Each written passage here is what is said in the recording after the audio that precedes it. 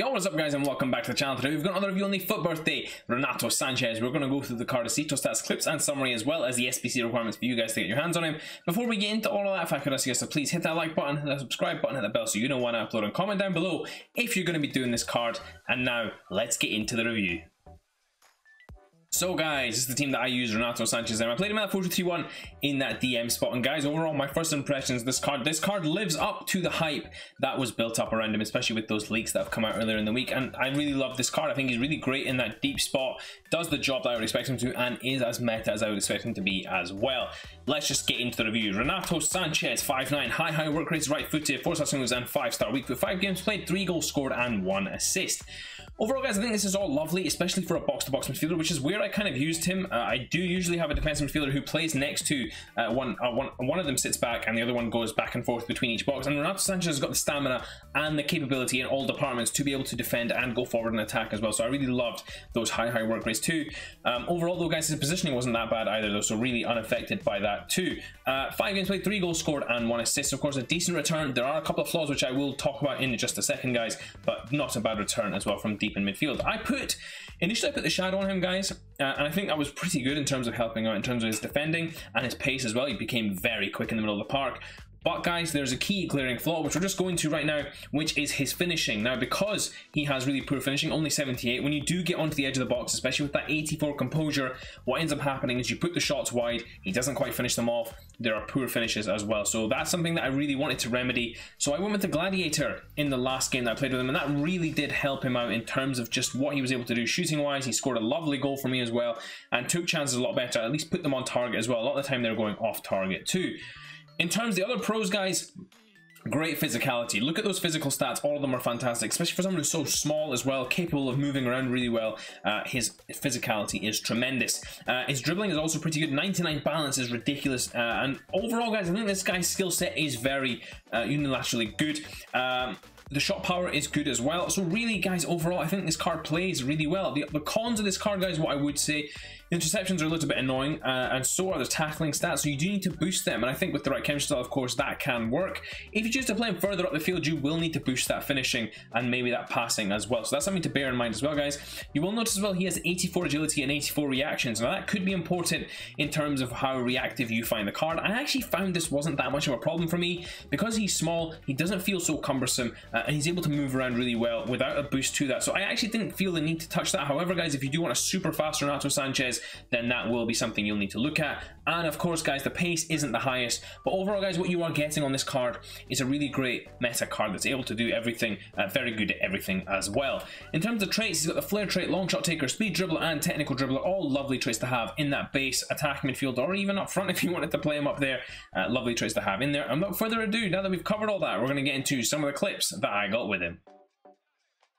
So guys, before we get into the clips, I forgot we've got to cover the SBC requirements. 730k to do this SBC on the PlayStation. We will just update this just to check. It's actually gone up to 755 on the PlayStation, 699 on the Xbox, and 843 on the PC. So this is not a cheap SBC, guys by any means. However, when you consider where his road to the final card is at, now I know that the road to final is boosted up by the fact that people are looking at where the card is going to go. However, I feel like this card is a very good level to where that would have been. So I think a million plus for this card would not have been unreasonable in terms of how much I think he's worth. But this 755, 698, 843 respectively is a very good value SBC for what you get on this card. I won't think you'll get better, uh, many better box-to-box -box midfielders than this card. Um, he'll do a job for you right until the end of the season. Uh, just looking at the, the squads required, an 87 rated squad, 50 chem with one Portuguese player for 320k. That's the most expensive one, of course. An 86 rated squad with an inform and one Bundesliga player for 266k. And then this last one, the first squad that you'll have to in, which is actually the cheapest of the three, of course, 85 rated squad with one Bayern player. And this is, of course, all three expensive squads. Um, so there's that's that's to consider that as well for the player in terms of when you're going to do this, how you're going to do this, the timing of it as well in terms of expensive players. Now the 81 plus player pick is gone as well. That's something to consider too, guys. And now that we've covered that, we're going to get into, as promised before, some of the clips that I got with him. So guys, getting to some of Renato Sanches's clips. What are you guys going to see is his general ability to, to, play in the middle of the park, to be able to do all the midfield aspects that you need this card to be able to do. Now, the first thing I want to get into, guys, is his pace. We're just going to go stat by stat category because I feel like that's the best way to go through this card. His pace is okay, guys. I feel like it's it's 88, which is very good for a lot of central midfielders. Um, so I don't feel like this needs too much of a boost. Um, I feel that overall he does pretty well in the pace department, and especially in that deeper role as well, where he's able to cover the ground a lot quicker than a lot of central midfielders. This wasn't too bad. If we just go straight into the dribbling next, guys, and again, this felt very good considering he does have some off stats in there. I'm talking about mostly the reactions and the agility. 84 reactions, 84 agility, and yet he did not feel a step off the pace at all. He was very good, very quick on the ball, uh, very capable as well of doing everything I needed him to be able to do on the ball as well. Which leads me into the next part of his game, which is his passing. Now, guys, his passing range is pretty good. Uh, it's reasonable enough. It's not anything special. I wouldn't be looking for him to be some sort of distributor or conductor of the ball like that. He's very much an energy midfielder that you use in your team to be able to drive them forward uh, and create goal-scoring opportunities. However, I wouldn't say that his passing is one of the key features that allows him to be able to do that for you.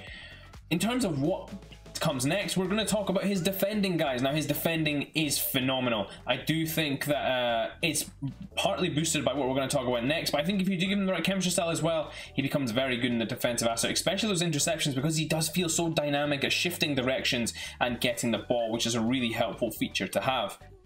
Um, I do feel like leading into that, his physicality is such a big factor because his aggression, his strength, stamina, all of it leads to him just being so dynamic in that midfield and able to play uh, really well in there against anybody. and whether they're bigger than him, stronger than him, it does not matter. This guy will compete against anyone, and that's really nice to have in a central midfielder.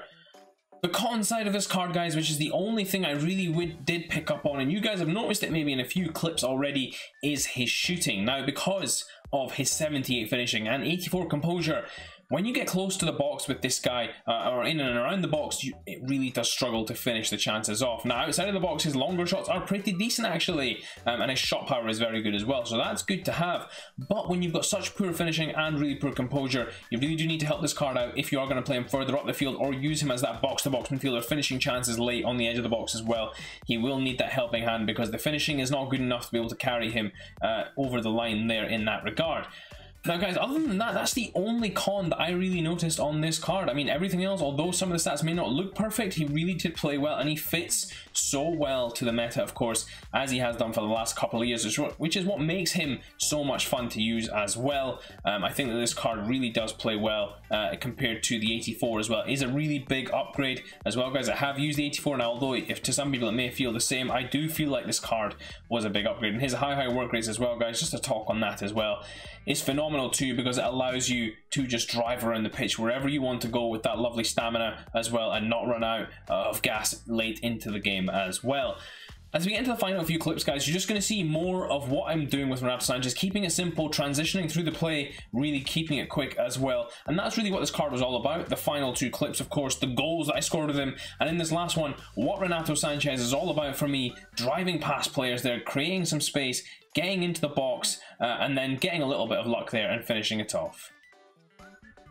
So guys, getting to this final Renato Sanches summary, 755 on the PlayStation, 698 on the Xbox, and 843 on the PC. Now guys, if we just get straight into the key stats, I think his dribbling stats are okay. Um, I do feel like the agility and reactions weren't that much of a hindrance. However, if you do want a super fast reactive Sanches, you will need to look at boosting that. I think his pace could do with a little boost as well, but his shot power and long shots are really good. You've seen that in some of the clips as well. The main pros, the physicality, tremendous physicality in this card, guys, and really is a powerful card to play with in midfield and really can do a job on a number of players, whether they're big, small, or in between. If I was to recommend a counter style, guys, it really does depend on how you want this card to play. If you want it to be more box to box, finishing chances off, then I think you're better off going with something that really does help him out in terms of his movement and dribbling and all of that stuff as well. Now, you could, of course, just go for the standard hunter. That would help his finishing out and his pace out, and that does allow him to finish a lot better. If you're going to play him deeper, you could, of course, go with his shadow. That does that to the card as well. But I feel like if you're going to play him as a box-to-box -box and in between, then you need to consider that his shooting and his defending both need help. So for me, the Gladiator is the one that I went with. That's what it does to his stats. It gives him a really nice balance. The dribbling isn't too bad, guys. You are able to use it, especially in the base of midfield.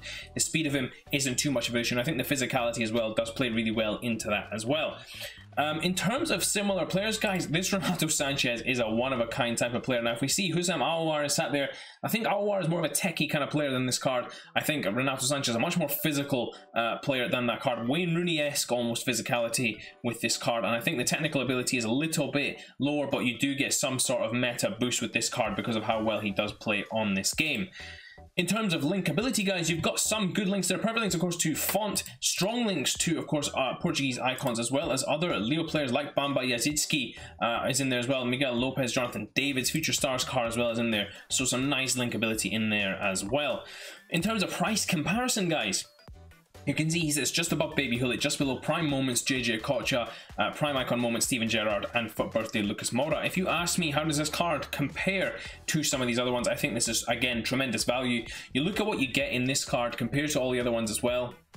You get such a well-rounded skill set and ability, and he fits so well, which is a key factor. He fits so well with the meta, guys, which is really important, especially in this card, that he was a big upgrade on his 84 rated card and I think he is I've used the 84 I think it's a very good card I think this card is a level up uh, and really is worth that SBC which brings, leads me to my final recommendation as you guys have just heard if you can afford this SBC guys if you can link him into your team I would 100% recommend you do it. Uh, this card is really worth it. He will be with you until the end of the game. And think about it like this, guys. If Renato Sanches card was to come out in TOTS time, that card will easily be, uh, let's say, a 1991 rated card that will be above a million coins. Really expensive for you guys to put in your teams. This is a good way to get a Renato Sanches card into team that's higher rated, that is endgame, that will be able to stay in your squad past the TOTS time, uh, and will still be very serviceable and doesn't need to, you don't need to pay over a million coins to get your hands on him. It's very affordable in terms of a Renato Sanches card as well. So really is worth it, in my opinion.